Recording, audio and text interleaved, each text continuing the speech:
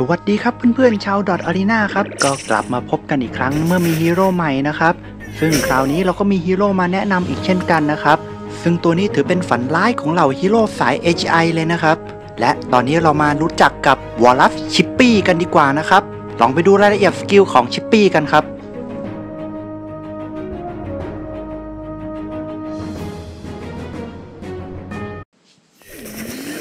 skill แรกท่า ultimate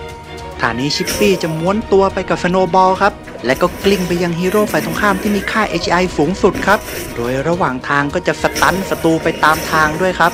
และเมื่อไปถึงฮีโร่เป้าหมายนะครับ ก็จะทำการฟาดเข้าไปหนึ่งทีครับ และจากนั้นชิปปี้ก็จะเดินกลับมายังตำแหน่งเดิมครับ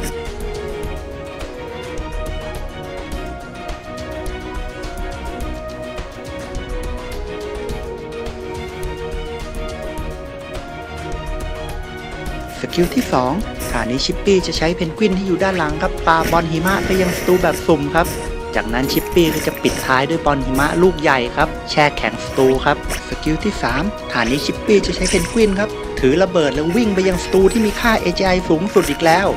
และจากนั้นก็จะระเบิดตรงกลางวงนั่นเลยครับทำให้ติด slow ครับ แล้วก็มีการกระเด็นออกไปจากพื้นที่เดิมเล็กน้อยครับskill ที่ 4 ท่านี้จะเห็นชิปปี้มีไอ้น้ำล้อมรอบตัวนะครับ ซึ่งหลังจากมีไอ้น้ำนี้ก็จะเป็นการ confirm ว่าการโจมตีครั้งต่อไปจะเป็น critical แน่นอนครับ โดยในประลองออนไลน์เราสามารถรอให้มีไอ้น้ำขึ้นก่อนแล้วค่อยกด ulti ก็ได้นะครับ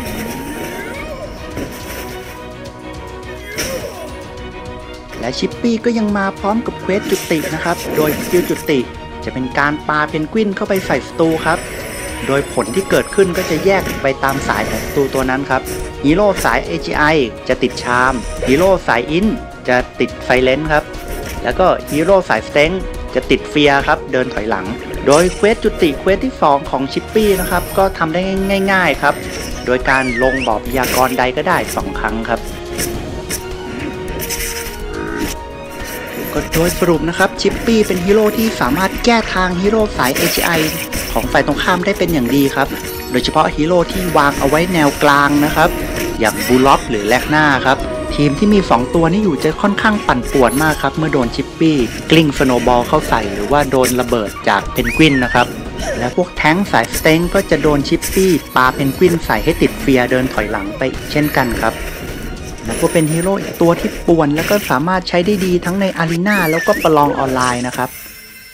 แล้วก็ต้องขอบคุณทุกท่านที่รับชมนะครับ ถ้าใครดูแล้วชอบก็ช่วยกันกดไลค์กดแชร์ไปให้เพื่อนๆได้ดูด้วยนะครับสำหรับวันนี้หมดเวลาเพียงเท่านี้ครับ แล้วพบกันใหม่โอกาสหน้าเมื่อมีฮีโร่ใหม่มานะครับ ลาไปก่อนนะครับ สวัสดีครับ